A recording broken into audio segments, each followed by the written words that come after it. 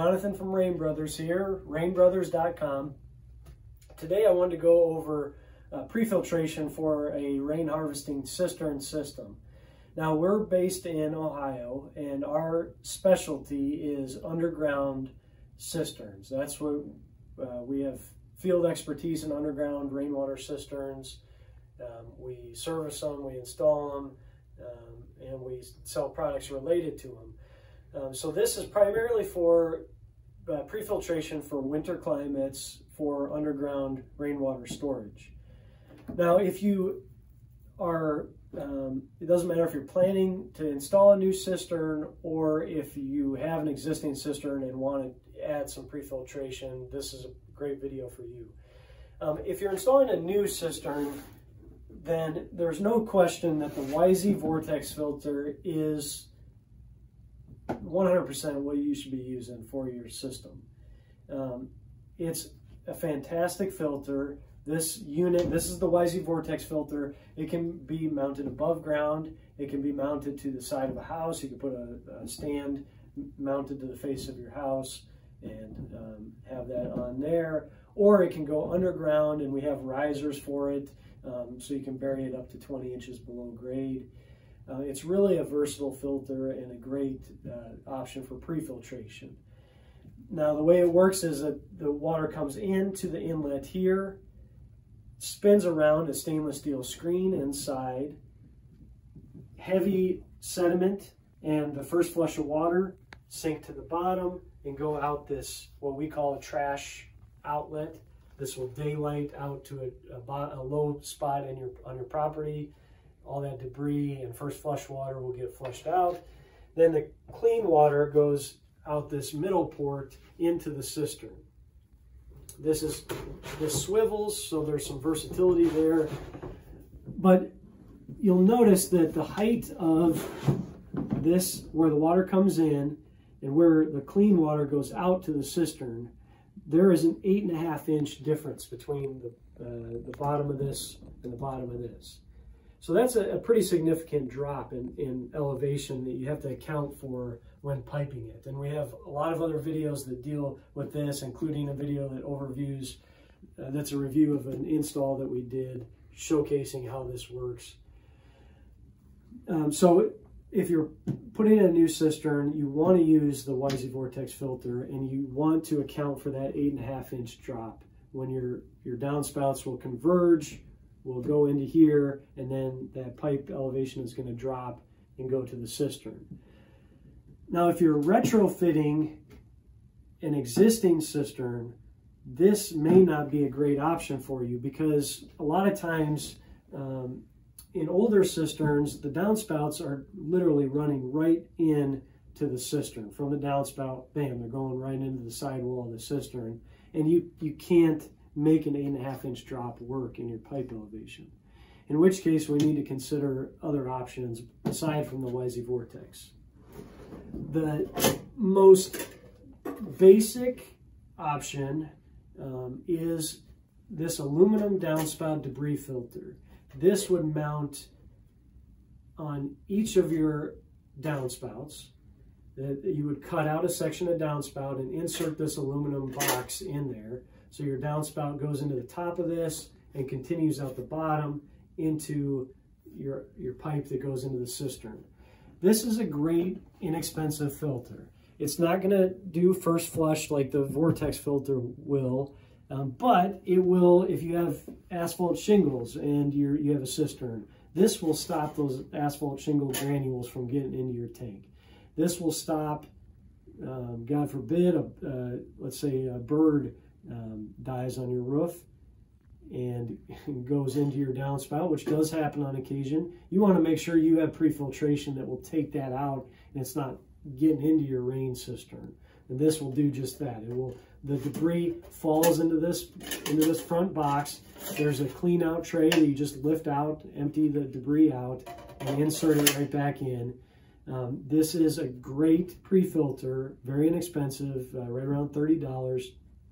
It's better than, um, uh, actually this company, Rain Harvesting, makes uh, what they call a gutter head that is a pre-filter. It doesn't have this box here. It's just a, a screen that, that comes down at a 45 degree angle.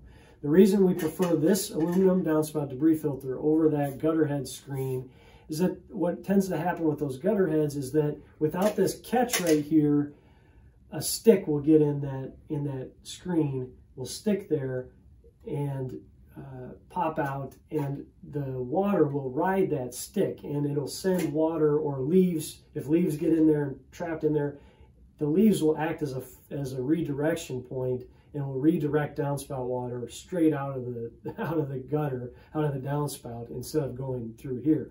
So having this catch right here and having a little clean out tray really does make it so that you're you're still gaining your water into the cistern. You're not risking losing it off the front.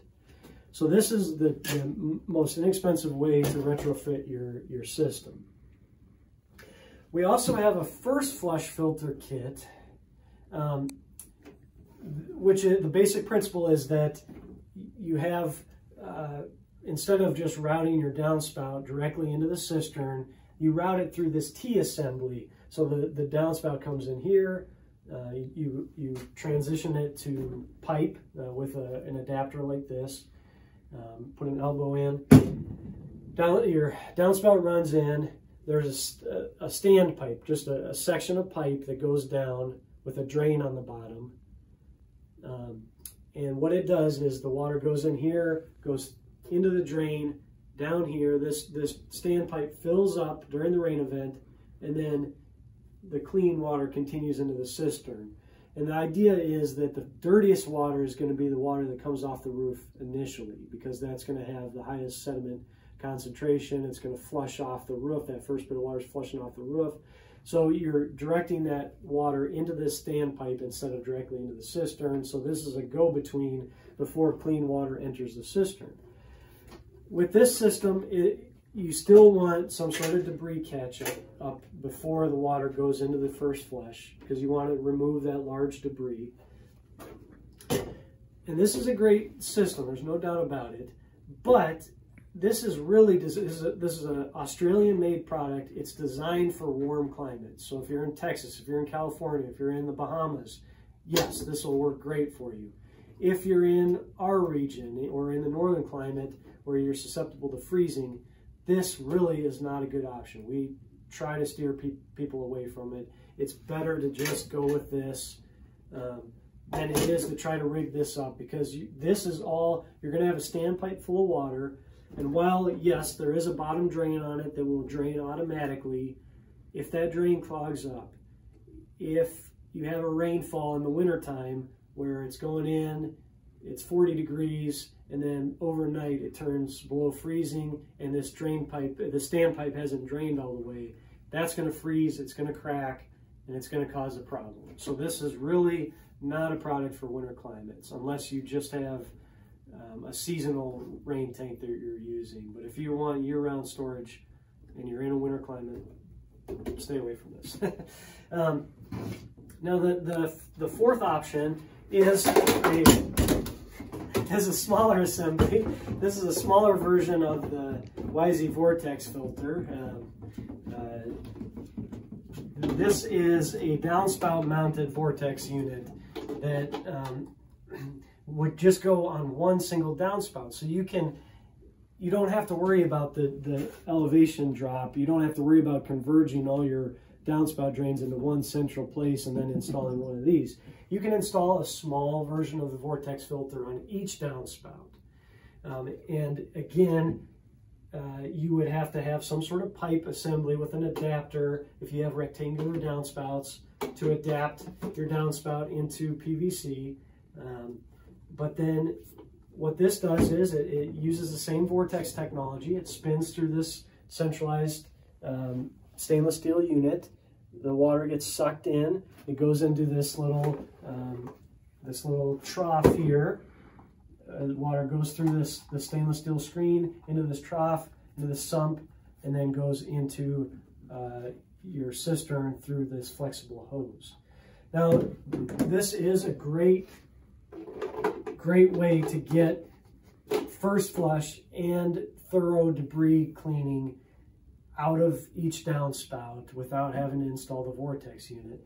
The only downside is that this is primarily designed for an above ground tank, which is why it has this flexible hose. It's meant to, this flexible hose is meant to go into the side of the tank um, instead of an underground cistern. So what you have to do is you just have to run two inch pipe up from your cistern and run this into the two inch pipe and silicone around it to get it um, get it sealed off nicely.